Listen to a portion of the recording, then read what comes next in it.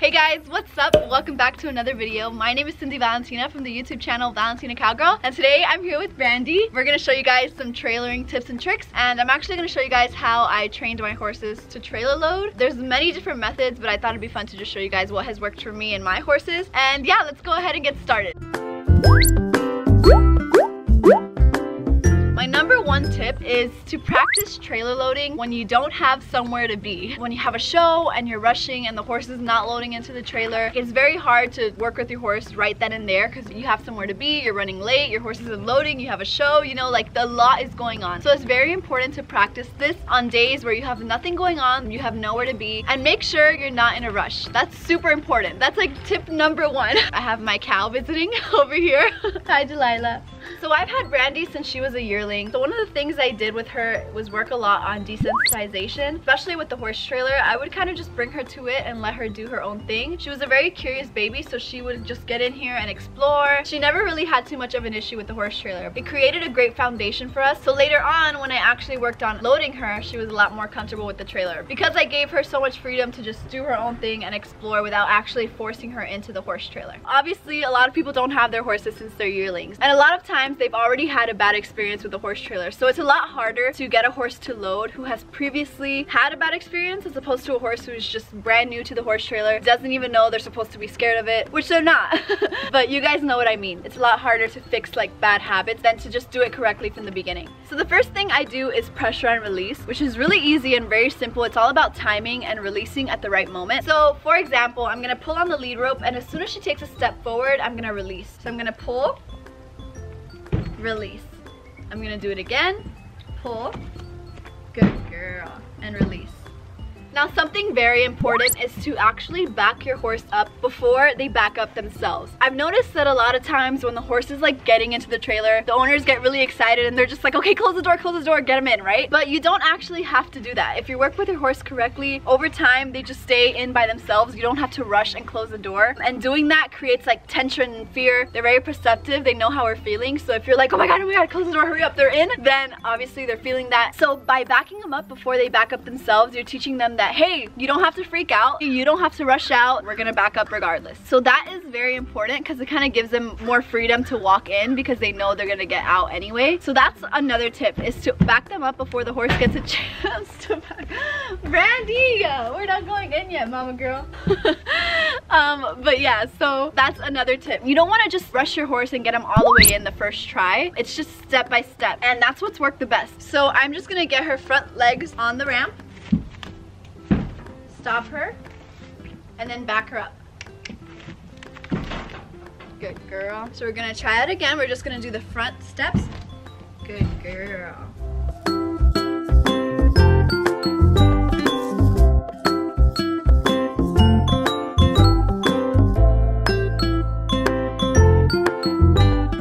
It sounds like counterproductive, like why would you back up if you're trying to get your horse to load? Like why would you get them out of the trailer when your whole goal is to get them in? It's crazy, but actually backing them up is what creates that little light bulb moment for most of the horses that I've worked with. So that's why it's so important to do this when you're not going anywhere because if you're going somewhere, you don't have time to like back up and back up, you know, it's not the ideal moment to work with your horse. So it's very important to do this throughout the week when you don't have any shows or nowhere to be. So that's usually how I start off with all the horses, right? Pressure and release, I apply pressure on the lead rope, take a step, and then release. And slowly but surely, they are all the way in the horse trailer. And again, I back them up throughout the whole process. Like I never want them to go in all at one shot, especially at first. I wanna do like step by step, halfway in, back them out, onto the ramp, back them out, halfway in again, back them out, finally all the way in, then back them out. And that's what's worked great. But there are other times when that's not really working. The horse is just terrified of the horse trailer. They're not going in at all. You're just sitting sitting there for hours pulling and they're not taking a step. That's happened. Like there are horses who have just had terrible experiences that just don't take a step at all. Like you're literally there applying pressure for an hour and they're not taking a step forward. When that happens, I usually have someone else help me use a lunge whip and just tap their butt at the same time that I'm applying pressure. So I'm pulling the horse forward, someone is tapping their butt, and as soon as the horse takes a step forward, we both stop. I let go of the reins and the person stops tapping.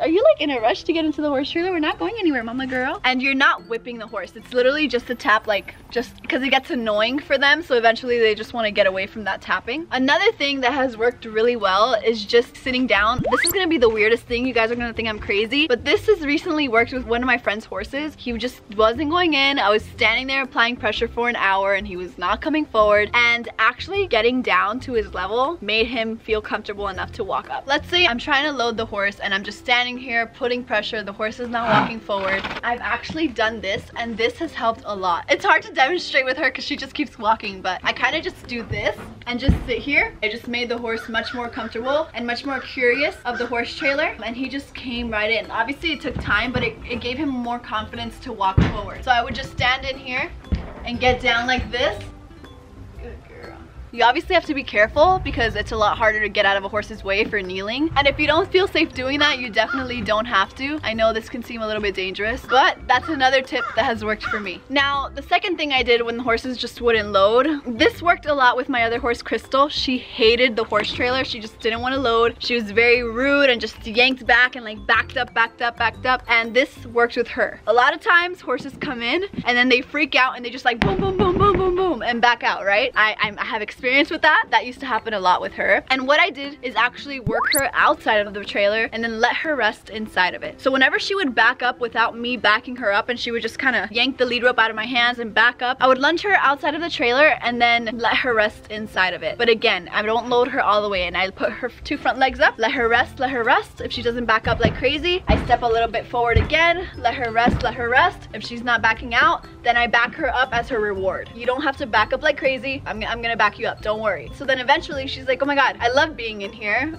All I do is just relax in here. And when I'm outside, I have to do a bunch of work. So eventually they start realizing, okay, it's better to be inside the trailer. But I also back her up so that she realizes either way she's coming out, she just has to do it the right way. I wish I had a horse that didn't want to load so I could give you guys better examples, but Brandy just loves the horse trailer, right? Oh yeah.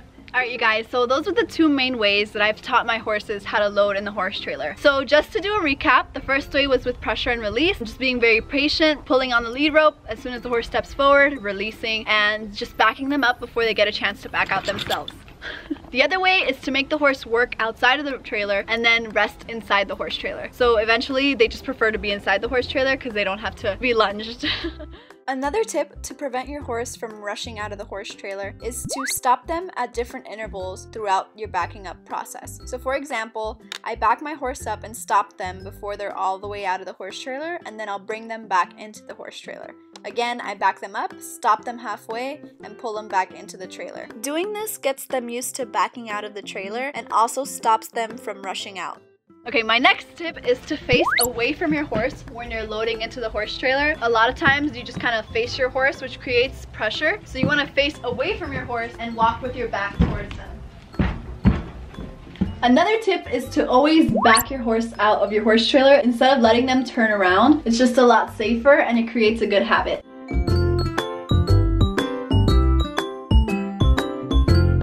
Obviously, if you have a straight load horse trailer, you don't have any other option besides backing them out. But for slant loads and stuff like that, I still like to practice backing them up instead of letting them turn around. Okay, my next tip I've actually learned from experience. You guys don't understand how many heart attacks I've had, how many crazy just panic moments I've had because of this and that's actually to close the trailer door before you tie your horse up. Especially with Crystal, this has happened a couple of times. I would load her in the horse trailer, tie her up, but before I get a chance to close the door, she freaks out, sets back, breaks the lead rope, rushes out of the horse trailer. That has happened quite a bit, and it's just traumatizing. I hate that. Like, it literally scares me because I just feel like she's gonna get hurt. So over time, I've learned to not tie her until the trailer door is closed. And putting the butt bar is not enough. You literally have to close the trailer door because I've done that. Like, we have this little strap over here. I'll show you guys. I don't know if you can see. There's this little strap that we have that you clip once the horse And one time I thought that that was enough. Oh, I just, just put the butt bar and I can just tie her and then close the door. But no, you guys, she literally set back, broke the halter, rushed out, and slipped under the butt bar. So she was stuck underneath this little strap. It was on her back and she was like under it. Her butt was halfway out of the horse trailer. Her front end was still inside and the butt bar was stopping her from like standing straight up. Like she was literally stuck underneath it. It was terrifying. So like I've said, I've learned from my experiences, just always close the trailer door before you tie your horse up. So in order to do this without your horse backing up, I like practicing walking in and out while the horse is still inside, just so that they don't back out as soon as they feel feel you walk out of the horse trailer. I'll show you guys what I mean. So as you guys can see, I like to practice just walking in and out, in and out, so that eventually I can just keep my horse in there without tying her. So that's another tip. It would just be to practice walking in and out while your horse stays inside the horse trailer. She's backing out, but you know what I mean. Good girl. If you like having the windows open when you trailer your horse, a tip is to make sure you put a fly mask on to protect their eyes from any dust or debris kicked up by other vehicles. Some trailer windows already come with a screen or some kind of mesh, but if you don't have one, this is a good alternative. Some trailers also have feeding areas or bins, but instead of just throwing loose hay in them, make sure to use a hay net to prevent hay from flying in the horse's face and irritating their eyes. It also keeps the mess to a minimum. Another tip is to practice loading your horse in different style trailers. This can be kind of tricky, but if you board at a boarding facility with other boarders or have a friend whose trailer is different than yours, ask if they'd let you practice trailer loading. Some horses have no problem loading in a straight load trailer but hate slant loads, or vice versa. It's always a good idea to expose your horse to as many things as possible.